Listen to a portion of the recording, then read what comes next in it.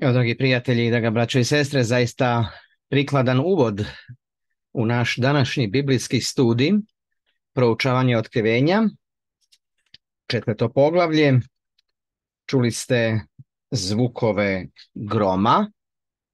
Vjerujem da ste svi imali prilike to i uživo doživjeti.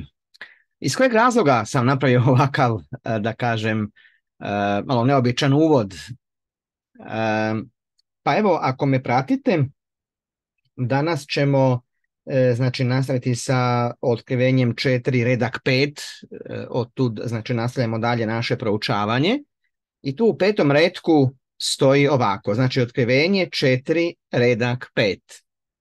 Kaže iz prijestolja izlaze munje i gromovi i glasovi i sedam ognjenih svjetiljaka gori pred prijestoljem koje su sedam duhova Božih.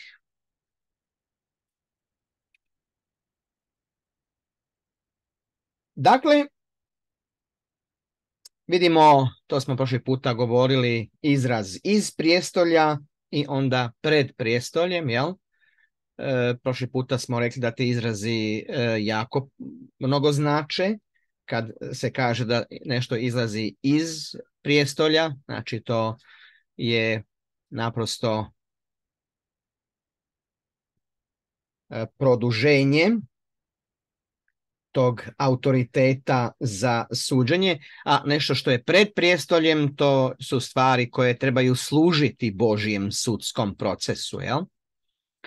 E, e, sada je kao prvo potrebno dati osnovnu definiciju ovim izrazima munje, gromovi i glasovi, koji su svi u prenesenom e, značenju dio Božjeg arsenala, oružja njegovog ratovanja, da kažemo tako, evo najjednostavnije.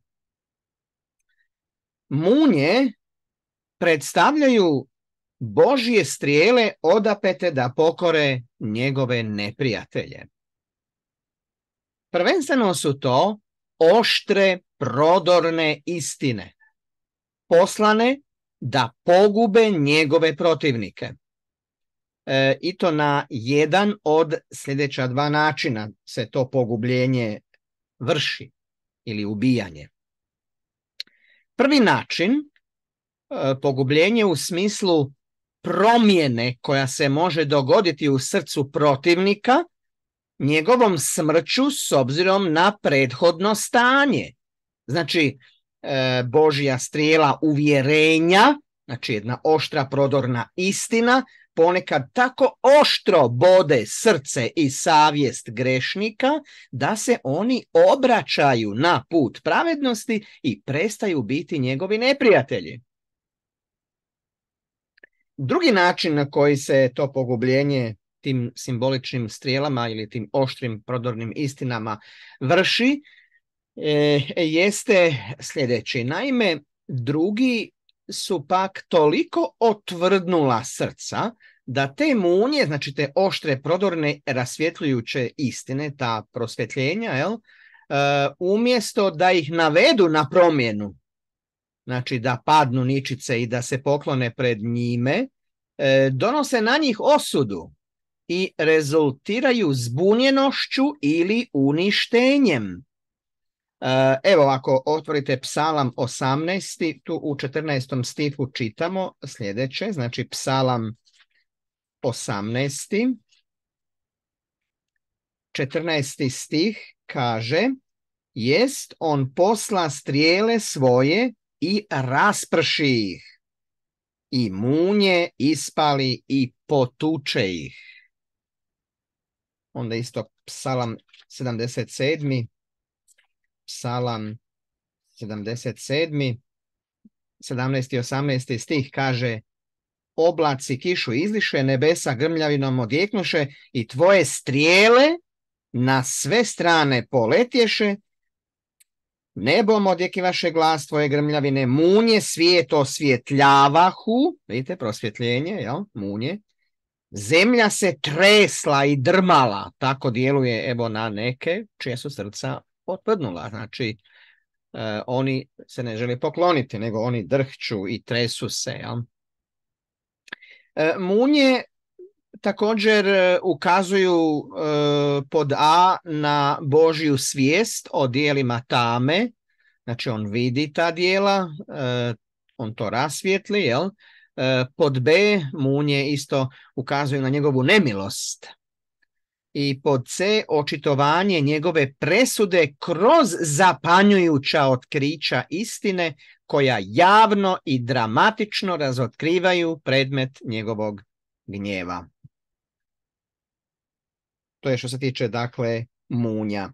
Gromovi ili grmljavina, jel, koju ste čuli u uvodu, e, predstavlja naravno Boži glas moći i autoriteta. Čitamo u knjizi o Jobu 37 redak 5, znači Job 37 redak 5 kaže Bog čudesno grmi glasom svojim, golema dijela čini on, koja mi ne možemo shvatiti. Zatim Job 40, redak 9, Imaš li ti mišicu kao Bog ili možeš li glasom grmjeti kao On? Znači, Boži glas moći i autoriteta je predstavljen sa grmljavinom, jel? I također, Psalam 29. četvrti stih, znači Psalam 29. četvrti stih kaže glas Jehovin je silan, glas Jehovin je pun veličanstva, jel?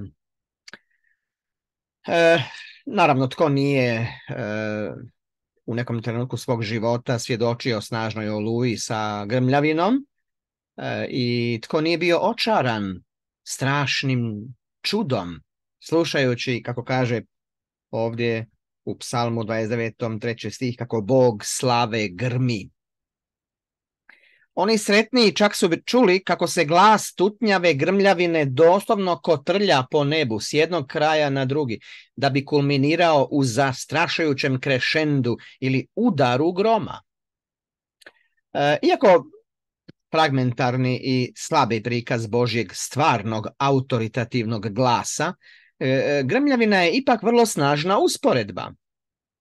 E, ona koju se znači mentalno može dokučiti i u fizičkom smislu stvarno skroz shvatiti. Jel? Uz grmljavinu se često povezuje i misao o nezadovoljstvu ili Božjem negodovanju također. Jel? E, treće imamo glasove, glasove koji, glasovi koji proizlaze iz prijestolja, predstavljaju više struke i raznolike kanale, kako žive, tako i ne žive, kojima Bog raspolaže i njegovu uh, snalažljivost jel, uh, dakle, u uh, njihovom nepogrešivom korištenju.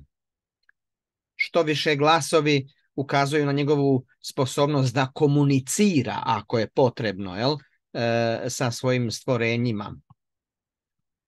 Onda da sažmemo ovako sada jedan napravimo sažetak koji će ja vjerujem onda pojasniti e, cijelu poentu ovog petog redka što nam se želi znači reći sa njime.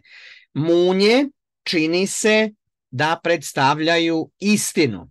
Jer kao što vidimo u prirodi, jel, munja osvjetljava tamu neba. Tako vidimo da istina osvjetljava duhovna nebesa. Jel? Znači područje duhovne kontrole, jel? vjerske kontrole i dakle istina to osvjetljava, jel? razotkriva jel? pogreške, zablude i tako dalje. Jel? E, grmljavina je više nego vjerojatan učinak munje ili istine na simbolična nebesa. Znači to njih potresa. Jel? Osobito ako se ustanovi da nisu u skladu sa otkrivenom istinom, onda e, ih to potresa, znate. I glasovi su najvjerojatnije učitelji u pravoj crkvi koji vide Božju riječ onako kako je otkrivena sa bljeskovima munja i koriste svoje glasove za širenje tih istina po duhovnim nebesima. Evo, to je poanta u biti ovog e, petog redka. E, Sad, sljedeća stvar koju tu vidimo u tome redku, dalje se spominje sedam ognjenih svjetiljaka, kaže koji gore pred prijestoljem, koje gore pred prijestoljem, to vidite na slici ovdje, na ovoj ilustraciji. Kaže koji su sedam duhova Božih.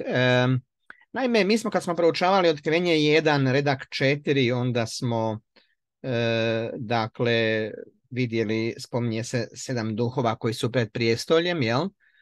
Znači, e, u njegovoj funkciji smo ga identificirali, duh sveti, jel, e, kao raznositelja sedam poruka za sedam crkvenih epoha. Jel? Samo što u ovom prvom pojavljivanju e, s tog simbola se ne dodaje ovaj izraz sedam ognjenih svjetiljki koje gore pred prijestoljem. Jel? Čini se onda da se tu misli E, dakle, braćo i sestre, prijatelji, na e, svetinju šatora od sastanka ili tabernakula sa onim jednim svječnjakom e, koji je imao sedam svjetiljki.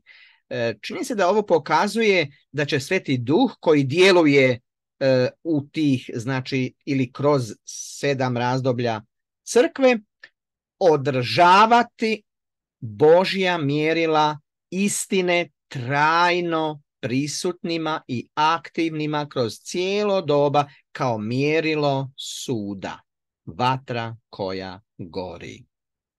Evo, to je poanta ovog petog retka. Neka gospodin doda svoj blagoslov na misli koje smo razmatrali. Nastavit ćemo sa šestim redkom u našem sljedećem video uratku. Mir vam Boži svima.